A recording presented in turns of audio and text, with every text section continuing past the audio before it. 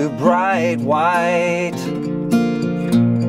He said that it was from when the cars had crashed so hard.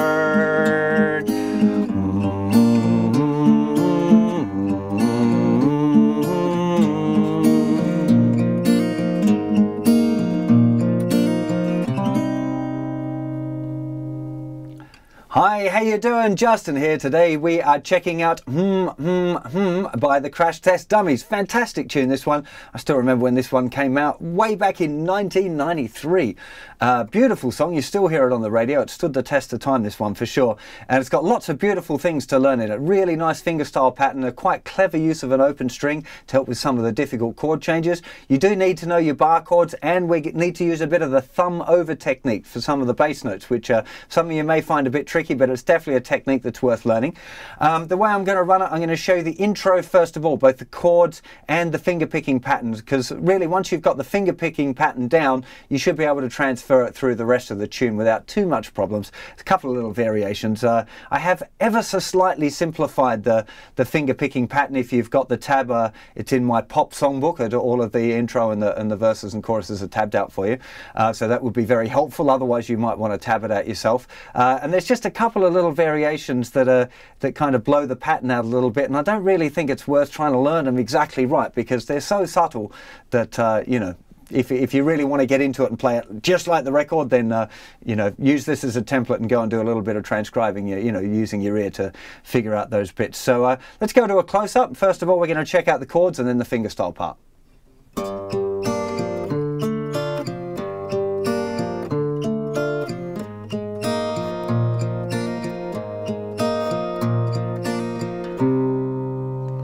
So there we have the intro. So let's run through those chords. We've got E minor for two beats first of all, then a B minor bar chord, back to E minor, back to B minor, and now we've got this F sus2.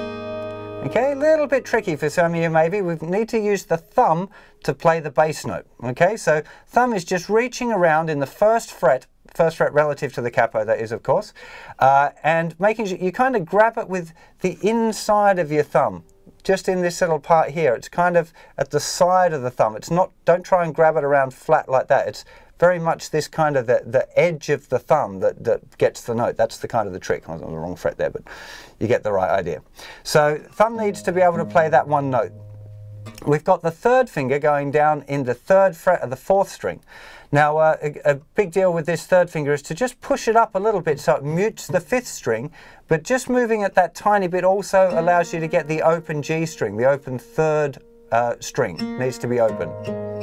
And then first finger is going down the first fret of the second string. Uh, and that will also mute the thinner string. We don't want to hear the thinner string either. So we've got first fret, mute, third fret, open, first fret, mute. Okay, that's our F sus2 chord.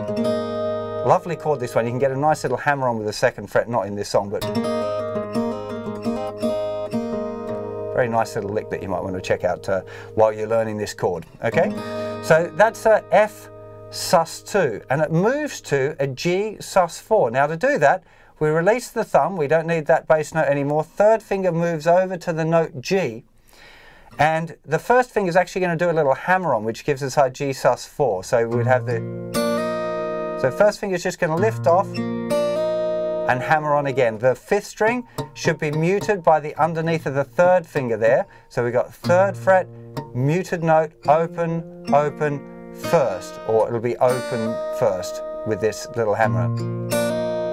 Okay, the thinner strings probably muted anyway by the underneath your third finger or the underneath your first finger, but we don't want to hear that note, so make sure that the thinner string is muted as well. So the intro again, E minor, B minor, E minor, B minor, F sus2, G sus4, F sus2, G sus4.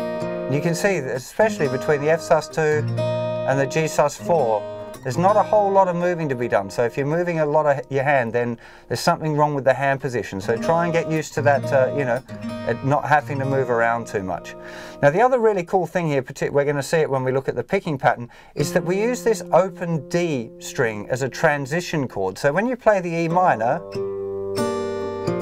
we've got that open D, the open fourth string at the end of that. One and two and change three and four and open D again.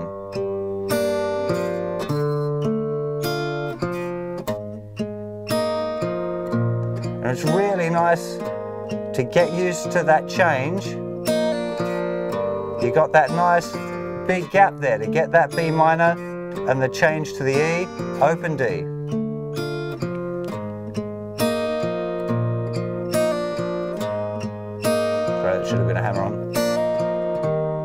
Okay, let's have a look at the picking hand.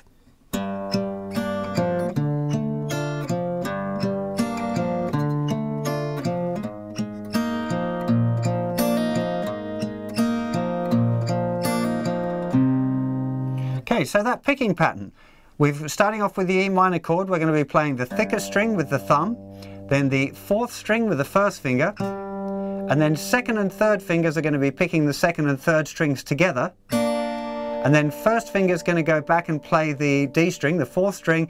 It will be open that time for the E minor. So we've got thumb, first finger, second and third fingers together, then first finger comes back and plays the open D. You get used to that just on the E minor first of all. When we move to the B minor chord, it's exactly the same pattern, but the thumb's going to move over to play the bass note of the B, which is on the fifth string. So we play fifth string with the thumb, first finger, second and third fingers together, then the open D again with the first finger, the open fourth string. When you put that together, E minor, you got the open D to change chord, B minor. The open D to change chord, back to E minor. Open D to change chord, going to B minor. Open D, now we're going to the F sus2. Thumb, one, two and three. And then first finger's playing that open D again while we transition to the G sus4. And then this time we got thumb, one, two and three. We'll play the open strings and we're going to do that little hammer on and then the open D again. So F sus2, open string, G sus4, back to F sus2, G sus4, E minor, B minor, open D, E minor, open D, B minor, open D, F sus2, open D, G sus4, back to F sus2, G sus4,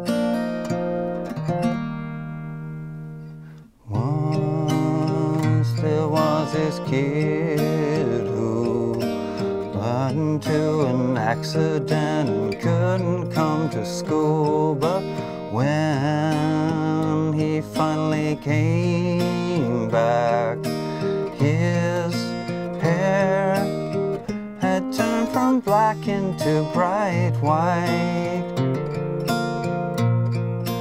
Said that it was from when the cars had crashed so hard.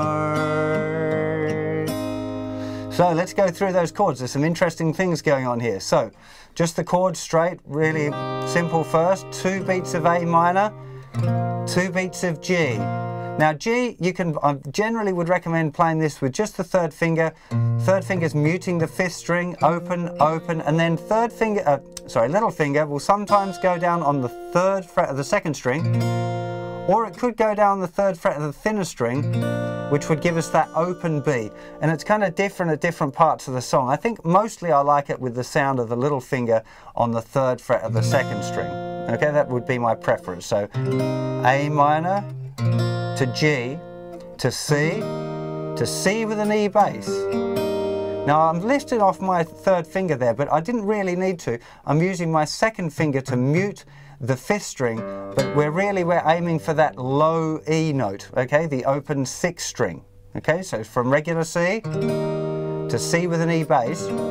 You could leave the third finger there and play it, but I just tend to like taking it off and using my second finger to mute that fifth string just to make sure that they're not ringing out together because if that C's ringing out while you play that, just tends to sound a bit more muddy than having keeps it kind of clear what's happening with the chords. Then we've got F. Now, again, you could play regular big bar chord F, but you know, in this context of this tune, you can see that it makes a lot less movement if we use the thumb over, three, two, one, in the third fret, second fret, and first fret. It's just really the same notes as this, but using the thumb over to play the bass. Then to C, to G, to C, to F, for a whole bar that time, to G, to C. G, C. Now there's a little variation that happens on the next F.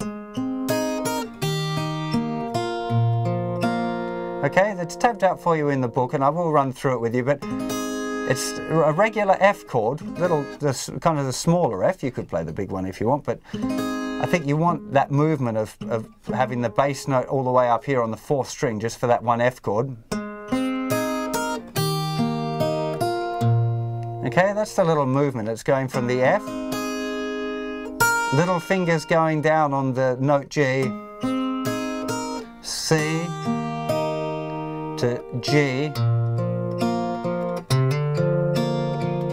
There's a little variation there on the G as well. G, and then a little hammer on with the second finger on the second fret of the fifth string.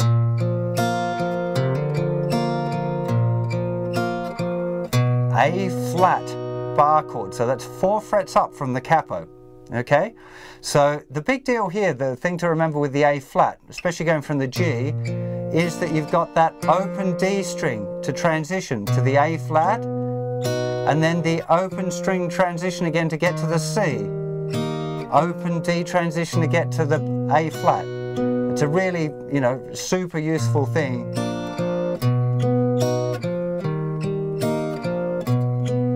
because without that open D it would be a really difficult transition to get from C to the A flat but as soon as you've added in that open D between them works out real nice and then at the end of the verse we've got this G over F which is a, basically a G triad the open second third and fourth strings with the bass note of F okay you could use a different finger if you really wanted to but I think you again you probably want to be using your thumb and then put those fingers down so you're playing a regular F. Okay, let's run through that one more time. So A minor, G, C, C with an E bass, F, C, G to C, and then F. Going to G to C, G, C, F,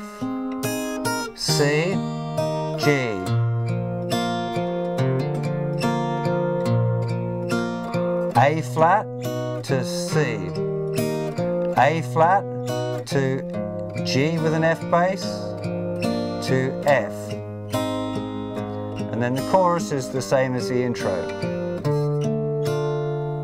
Okay, so let's just run through that one more time nice and slow. A minor, G, C, with an E bass, F, to C, G, to C, F, so twice round the little finger picking pattern, G to C. G to C, F, C, G.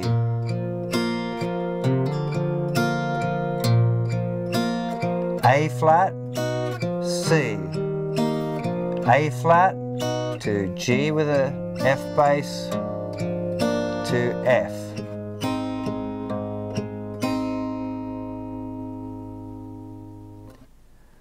And while we're on the close-up of this, I'll show you the chords for the middle part as well, which is strummed. It's D minor chord, but both girl and C were G, D minor, cause one kid had it C, then G to F sus2, And the F sus2, just to warn you, is a bar of 2-4 and a bar of 4-4. So the verse, next verse pattern starts a little sooner than you might think. But, uh, you know, you'll hear that if you start playing along with it, that uh, the F sus2 there is cut a little bit short. Uh, let's have a look at the picking hand there for the verses. A minor, G, C, C with an E bass, to F, C, G, C, to F, to G, to C, G, C. Here's the variation, F, C, G. I'm going to do that bit in a slower in a second. A flat, to C, A flat to G over F, twice through to F, twice through. Okay, that one little variation. Uh, so we've got the F, we've moved the bass note up to the fourth string. We play fourth string, third string, then the two thinner strings together with third and fourth fingers. Little finger goes down and we play the thinner string again. Now on the bar we change to C. And we're playing the fifth string and the thinner string together. Then the second string then the first string. Little finger goes down on the note G uh, note D which is the third fret which is the start of that G chord okay F extra note C little finger goes down third fret second string G, hammer, back to G. Okay, so that G. Now here, we play the open fifth string, hammer the second finger down, second fret, fifth string, and finish the pattern. Nice pattern that anyway, actually. Again, remember that we're using that open D to transition when we're doing the A flat it's really important that you get that open D to help you with the transitions between the chords.